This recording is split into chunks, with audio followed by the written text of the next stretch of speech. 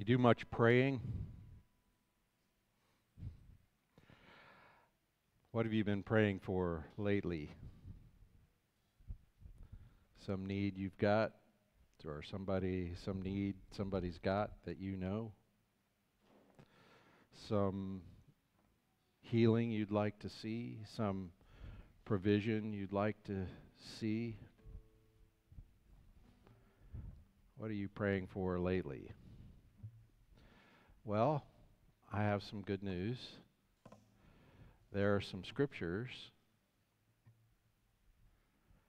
that say stuff like this If such and such and so and so, you can ask for whatever you want, and God will give it to you.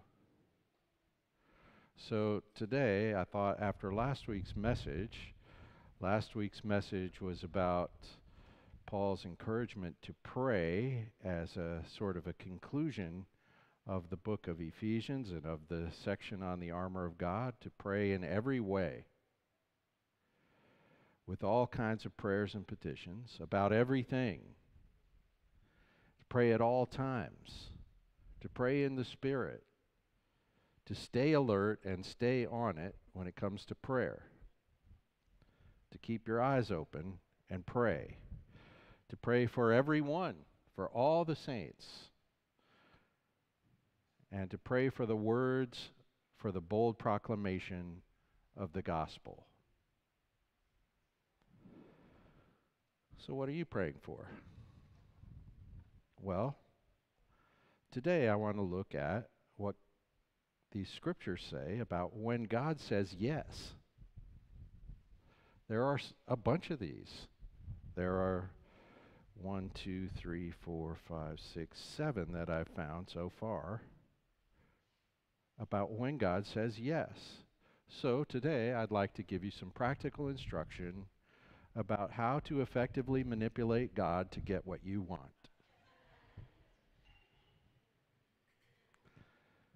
You ready? I'm only half kidding. How to manipulate God to get what you want. Because these texts say stuff like, whatever you want. So let's look at the first one. It's in Mark chapter 11, verse 22.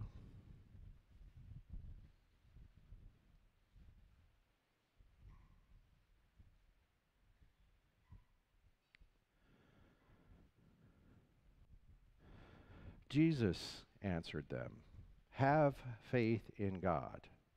Truly I say to you, whoever says to this mountain, Be taken up and thrown into the sea, and does not doubt in his heart, but believes that what he says will come to pass, it will be done for him.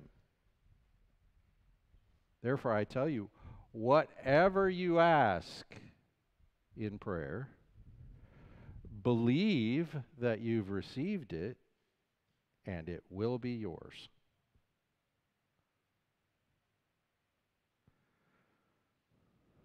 Now, how can he say something like that? How can he say that? So, one of the times God says yes is when we believe that he will. You believe that? You don't really believe that. I've read stories. There's a famous story about uh, Joni Eareckson Tada, who uh, injured herself and was paralyzed when she was a teenager. And she went through this uh, difficult spiritual struggle with God about whether He would heal her or not. And she read this text. And she said, Well, then I am going to believe that he will. I'm going to believe that he will. And she s- says she did. She believed as hard as she could. She's still paralyzed.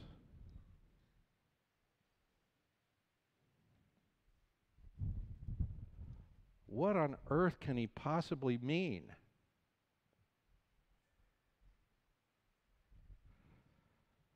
One of the times God says yes is when we believe he will say yes. That's kind of what this sounds like, at least. I tell you, whatever you ask in prayer, believe that you have received it, and it will be yours. And many people, like Joni, have taken this to mean all I need to do is work up that belief. I will strive to believe. I will work to believe. I will all I need to do is finally get to the point where I believe strong enough or well enough or whatever enough. And then God will have to say yes. Because he said he would.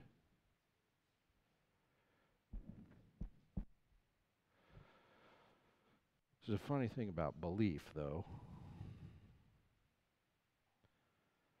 You can't actually believe something unless you know it to be true.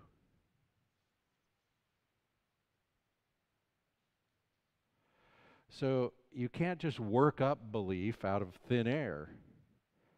Belief requires some basis, some reason to believe, some actual knowledge of what God might do. If I'm going to believe that God will say yes, uh, then I need to know something about God's intentions. You can't just believe something into existence. And so to believe He will must include some knowledge of His will.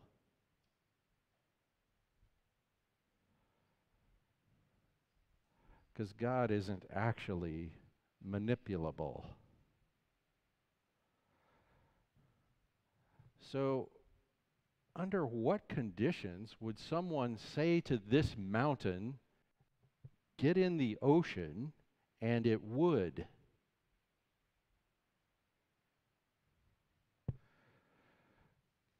Jesus did stuff like this, you know, in the storm.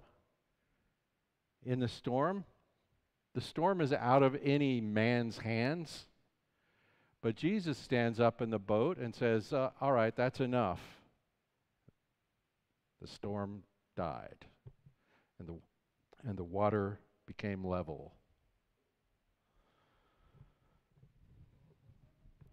Now, Jesus is God Almighty, but I think Jesus is exercising God's power in his humanity in that instance how does he pray and the waves obey? In fact, that's exactly the question the disciples asked.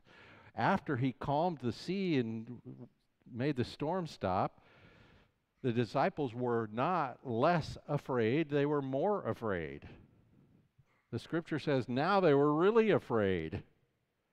They're not afraid of the storm anymore, but they're afraid of who they're dealing with here. Who can do this? Well, who can do this is the one who knows God's intention.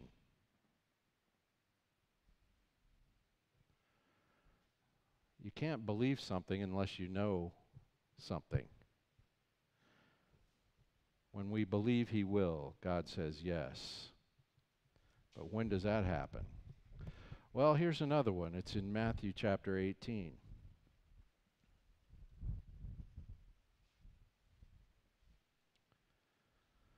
verse 19. Again, I say to you, and again, this is Jesus speaking. Again, I say to you, if two of you agree on earth about anything they ask, it will be done for them by my Father in heaven. For where two or three are gathered in my name, there I am among them.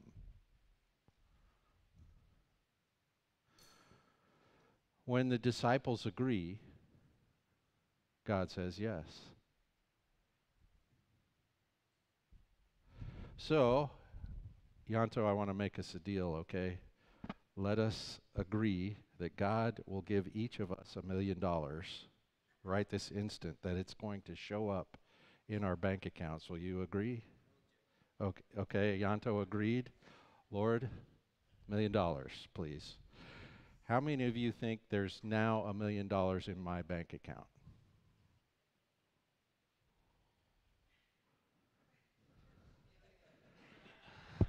Well, that didn't work. That didn't work. Why? Because we didn't really agree, did we? Because we know God has no reason to put a million dollars in our bank account. When the, those who are in Christ agree in Christ, then the Lord acts. But our, that agreement is not based on thin air.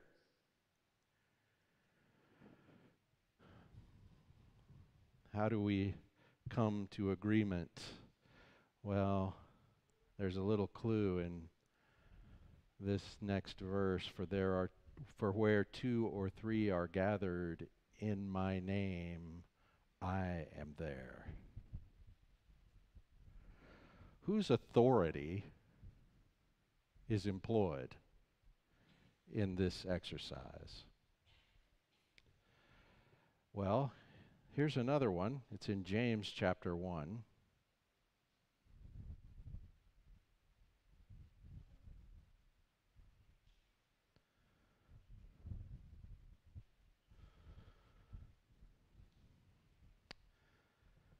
If any of you lacks wisdom, let him ask God, who gives generously to all without reproach, and it will be given him.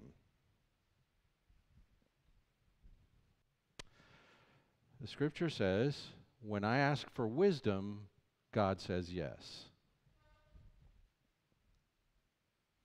We have an example of this in Scripture because when Solomon became king, God said to Solomon, Tell me what you want as the new king. I'll give it to you. And Solomon said, Well, what I really need as the new king is a lot of wisdom. And God generously, God gave to Solomon great wisdom generously and without reproach. And this text says God is inclined, God says yes when people ask him for wisdom. He gives it generously. That says to me, he gives more wisdom than we know we need. And he does it without reproach, no questions asked. He doesn't say, Well, I don't know if I should. Well, I'll can let's if I'll tell you what, if you straighten out this little sin in your life, then I'll no, there's no reproach. There's no questioning. He could have just said, let him ask God who gives generously and left it at that. But he didn't. He said generously and without reproach.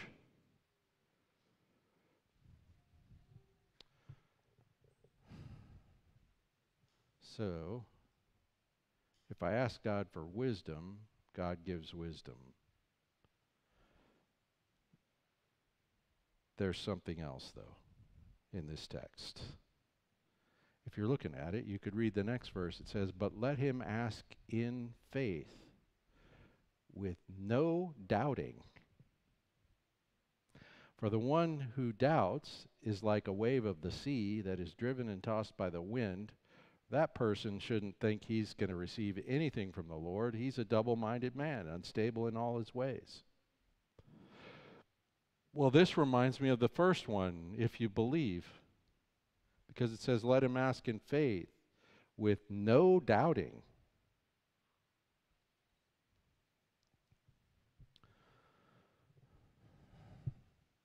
The one who doubts is like a wave of the sea that is driven and tossed by the wind.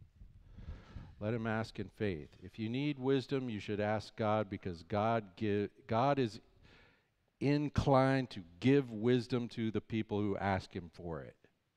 He says yes to that prayer. But he says, but no doubting. I don't know that I've ever done anything with no doubting. But what is this about? Let him ask in faith. I think what it's about is I actually trust God as a good source of wisdom. What it means is, I'm not saying, hey, God, I could really use some wisdom, so can I have your opinion so that I can evaluate that and then decide what I think is really the smart thing to do here? That's double minded. That's not saying to the Lord, Your wisdom is wisdom, period. That's saying to the Lord, I need something. You might give it to me. Let's see. Let's see if you're wisdom. So, this person who asks God for wisdom is submitted to the wisdom of God in the first place. This is a person who says, I believe that God's wisdom is truly wise, and I need to know what it is. And when I find out what it is, that is going to lead my decision making, period.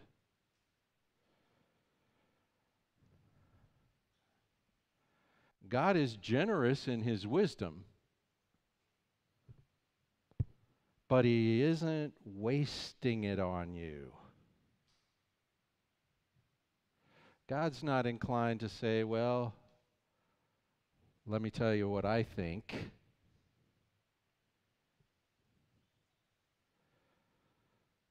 God is God. His wisdom is perfect.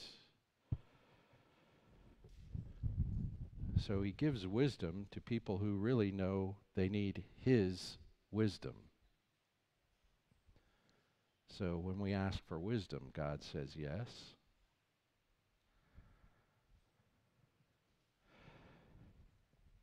The next one is in John chapter 14.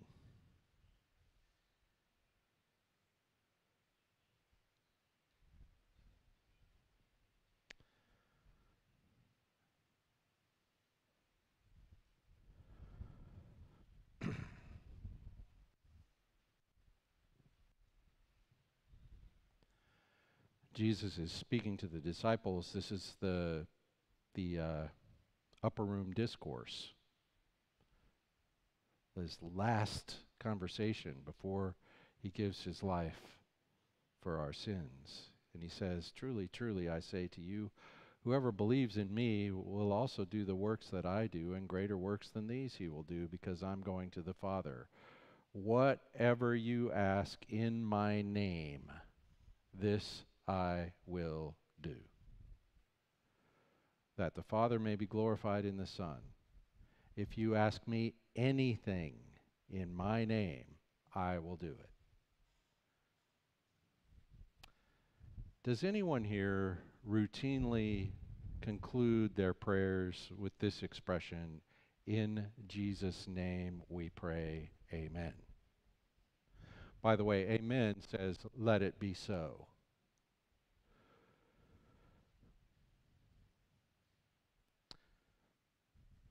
Like Captain Picard in Star Trek, make it so.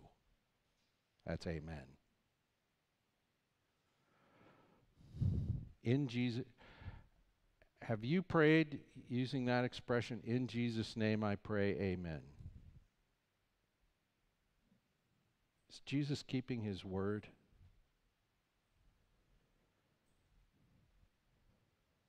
Whatever you ask in my name, I will do it. Have you asked some things in His name that you haven't seen done?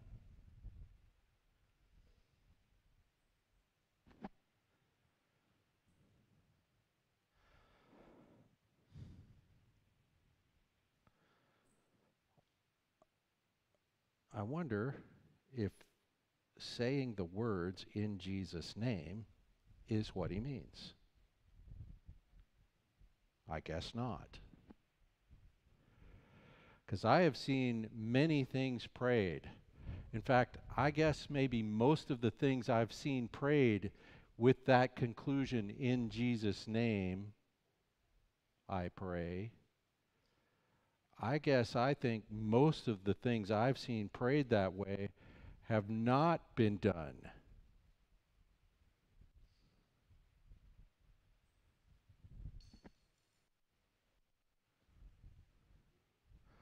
I guess there must be more to praying in Jesus' name than just that.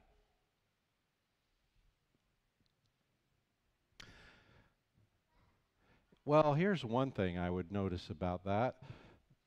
The only way I can pray at all is in Jesus' name. The only way I can come before God Almighty and expect Him to pay any attention at all is because of Christ and because I am in union with Christ in one sense or another. Because I belong to Christ, I'm invited to come boldly before the throne of grace and receive help in time of need. And if I'm not in Christ, then I don't have any standing for praying at all. So, one thing I would say is the only way I can pray is in Jesus' name. The other thing I would say is what does it mean to pray in someone's name? Well, here's what I think it means. When I was a kid, sometimes I would go to my little brother and I would say to my little brother, Mom says you have to do this thing that I want done.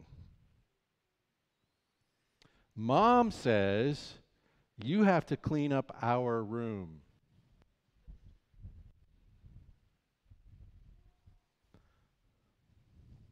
Now, what would determine whether my little brother would clean up our room if I said, Mom says? This is what would determine it. He would say, Mom, did you say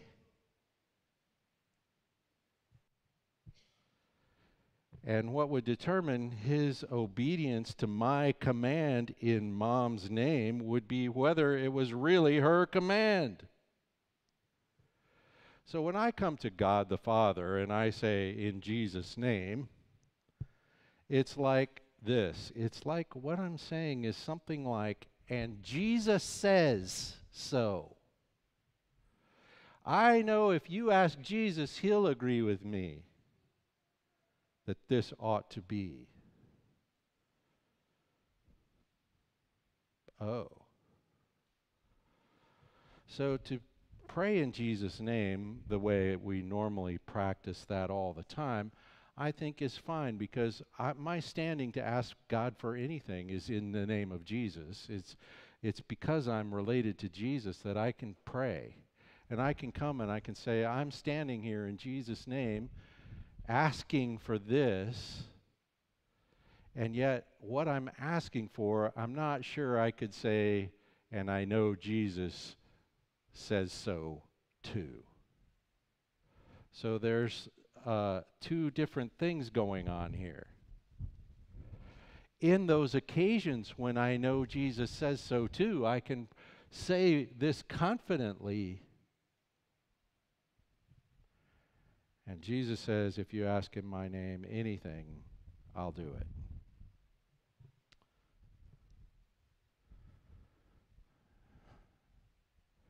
It does seem to me that if I'm going to ask something in Jesus' name, then I need to know what Jesus wants.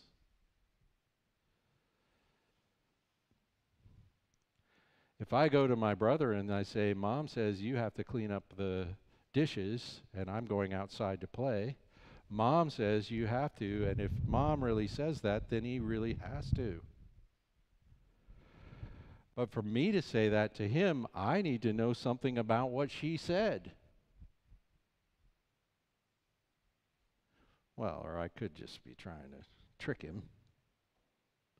But I'm not trying to trick him. She did say it, so I say what she said, and he has to obey.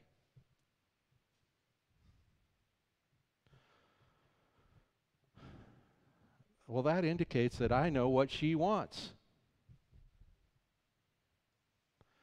So I'm skipping over one here in the outline because I decided they need to go in a different order. So we come to this one from 1 John chapter 5.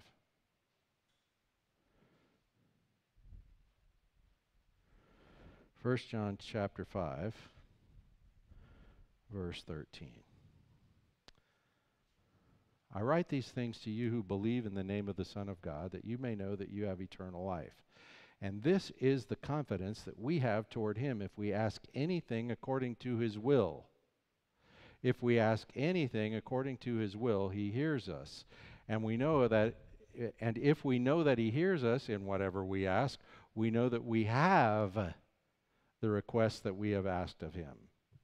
So if I know this is the will of God that I'm asking for, or the will of Jesus, if I know this is the will of Jesus and I'm asking for it, then I can ask for it in His name. And I can believe that it's actually going to be done. And we might gather together and agree because we know something about His will. And the more we trust this to be the will of God, the more confidence we might have when we ask. And so, to ask in Jesus' name, I ought to know what Jesus wants, and so I ask according to his will. In James chapter 4, there's this interesting discussion about praying where James says, You know why you're fighting all the time, you Christians? You know why you're fighting all the time? Because you want stuff and someone else wants something and you want something and then you can't get what you want so you fight all the time and but you know why you don't have what you want? Because you're not asking. Oh. And then he says even when you do ask you ask for the wrong reason. The wrong reason is just getting what you want, to spend it on your own desires. Oh man, my promise is coming undone now because I said I was going to teach you how to manipulate God to get what you want. What you want might not be right. And just getting what you want well, God's God, not you. So I need to know something. If I'm going to ask in Jesus' name, then I need to know something about what Jesus wants. I need to ask according to his will. So I need to know something about his will. And if I'm just asking because it's what I want, then I, my expectation of just getting exactly that is likely to need to be revised. I don't know if you've had this experience. Have you had this experience when you uh, you're praying and you're praying and you're praying and there's something you really think you need from God and God should give it to you and you pray and you pray and you pray and you pray you might even pray for years and then a later you're praying for something kind of like that, but not exactly that.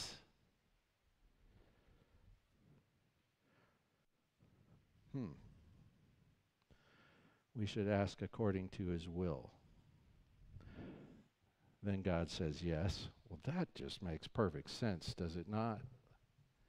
If I ask you for something you want to give me, what are you going to say? Yes. If we ask God for what He wants, He's going to say yes. And that very text in James that we talked about s- says, indicates to us that sometimes He's just waiting for us to ask. He's saying, You don't have it because you're not asking. Hmm. Ask. Ask.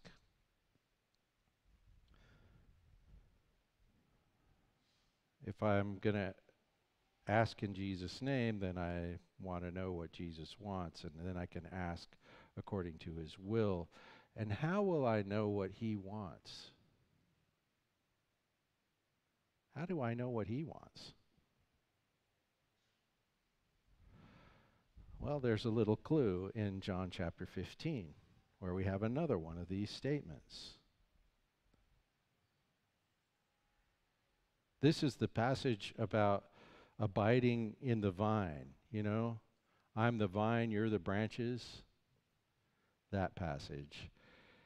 And in the middle of that, in verse 7, he says this If you abide in me, if you abide in me, and my words abide in you. Oh. If you abide in me and my words abide in you, ask whatever you want.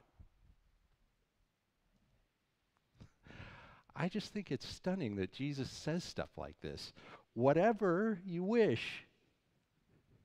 Really?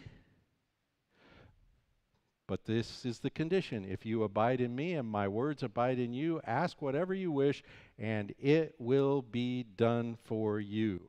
By this my Father is glorified, that you bear much fruit and so prove to be my disciples. Oh, so I want to know what he wants to pray according to his will, to pray in his name, to agree with you, to pray together in his name especially for the wisdom we need to confront whatever situation we find ourselves in and to have some confidence that He will provide it. How does I how do I get there? I abide in him and his words abide in me. I walk in fellowship with Christ in his word.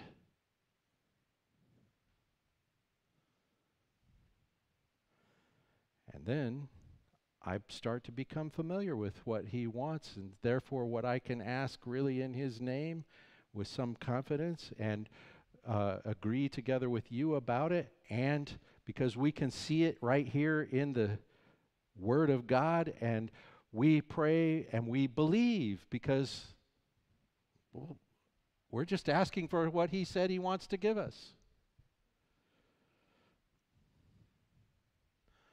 We ask according to his will when we abide in Christ and his words abide in us. I find my life in Christ, and his words find their life in me. The word of God is like the sap of the vine. So Jesus says, I'm the vine, you're the branches. What's the source? How does how does the vine communicate to the branches through the sap, which is the truth of Christ, the word of the scriptures, the truth of the gospel? And so that becomes infused into my life. That changes how I see the world around me, what I think is needed I'm less likely to think, hey, let's just manipulate God into giving us something we think would be fantastic to have, and more in the lines of, what is God seeking to accomplish through the ministry of the branches that are so intimately connected to the life of Christ? That is a really different sort of question. And th- now I'm looking around to see what is the opportunity for bearing the image of God into this situation. I'm looking to bring goodness and the goodness of God. This reminds me of that whole outline that we've looked at in Philippians where Paul prays that the Spirit would work in us so that Christ would dwell in our hearts through faith. That's abiding in Him. That Christ would dwell in our hearts through faith that being rooted and grounded in love, we are transformed into a different sort of person with a different sort of outlook that looks at the needs around them in a different way. That might even see some value in my enduring some suffering for the love of someone else.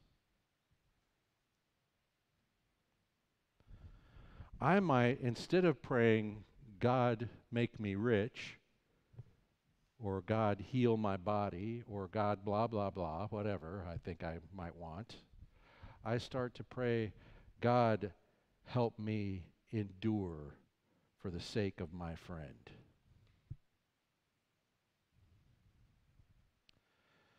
Like Jesus, not my will, but thine be done. I ask according to his will. There's one more. It's in 1 John chapter 3.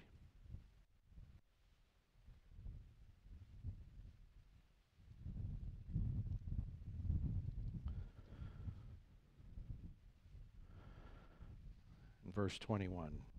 Beloved, if our heart does not condemn us, we have confidence before God. Oh, that's where we started. Confidence before God. If we believe, we have confidence before God, and whatever we ask, we receive from Him because, because we keep His commandments and do what pleases Him. God says yes when we keep His commandments, doing what pleases Him.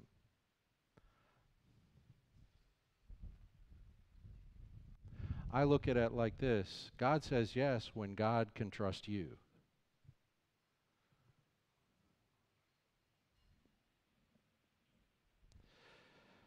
When God can trust you to bear His image for His glory, then whatever it is you're asking for, He's happy to give. Now, I am troubled by this talk that I've just given you. I'm really troubled. Because what I've just given you is a big old list of stuff you ought to do. I don't even like that kind of talk. Usually, I think if I went to some church and the pastor gave the talk that I just gave you, it'd probably make me mad. Because I think what I've just done to you is lay upon you a heavy burden. That's not the gospel. Now, the gospel is God is good and God will provide, and He will do so in some measure in response to your prayers.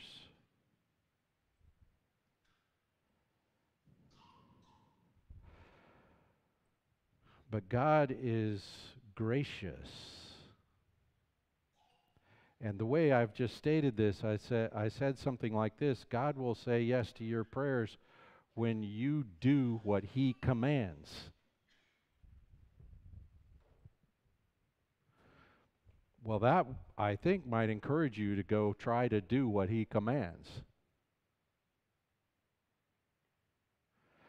But it's fortunate for us that in Christ, his commands are fulfilled already on your behalf. So we need to try to reposition all of these things into the gospel. And here's what I would say. Here's how I would summarize that. When you talk to God, the one who changes is you, not God. That prayer is an opportunity for God to, to mold us. And I come to God in Christ, as I've said already. I come to God in Christ. And I can come to God I know I've said I said this last Sunday. I can ask him for whatever I want. The only thing I need to know in order to pray is what do I want? Is that a somehow a contradiction of what we're looking at here to this morning? I don't think so. Because what God does is provide for us completely and especially in prayer. The scripture says that the Son of God ever lives to make intercession for us. So whether I pray or not, He's praying. He's always praying. And his prayer is always something like this Oh, he's with me. And so he's okay. And I am safe in Christ, so I can come, the scripture says in that same context, boldly before the throne of grace to get help. And so this motto, I could think, I can work on how do, am I asking for what God, what's like the heart of God already? That's a good thing to look for and search for. And as I pray, the Lord might mold my heart in that direction, and that would be good.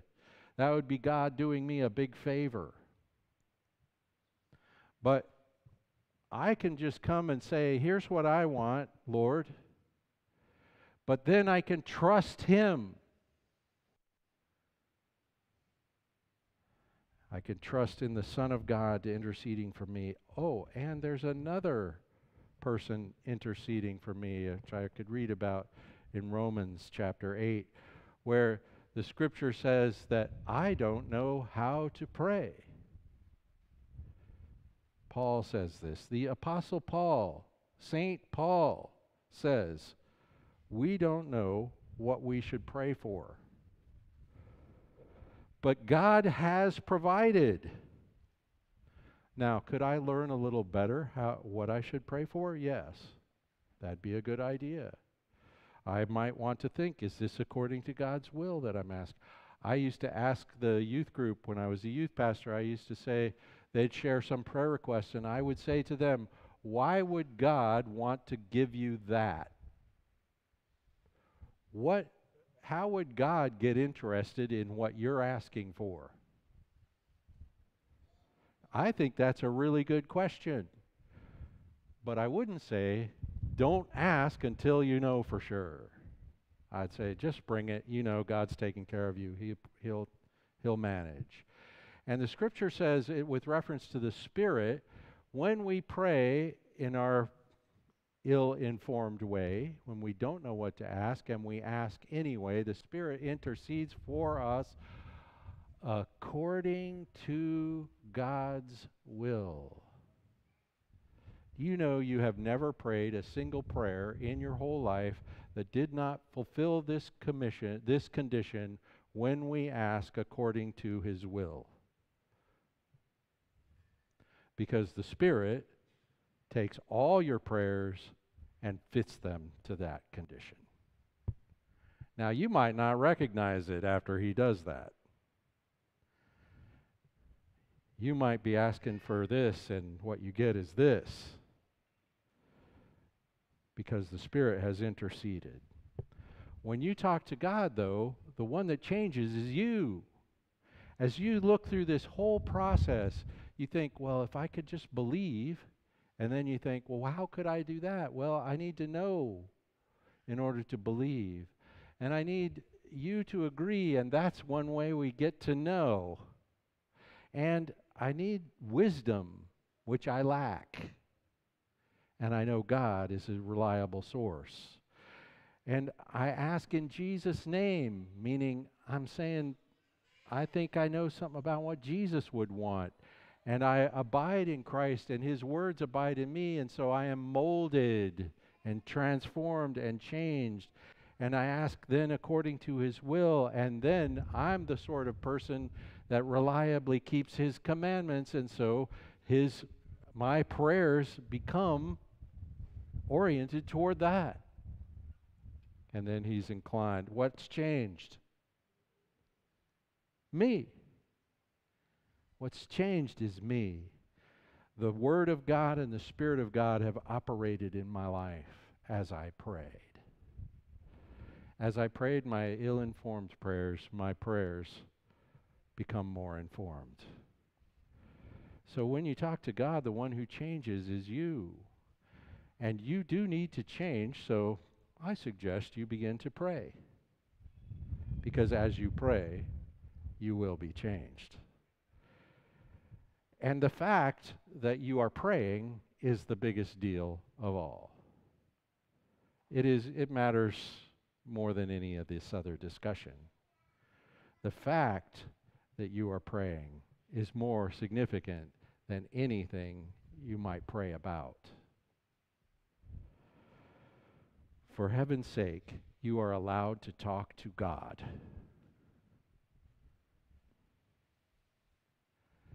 So I might come into prayer thinking, now how can I get God to do what I want?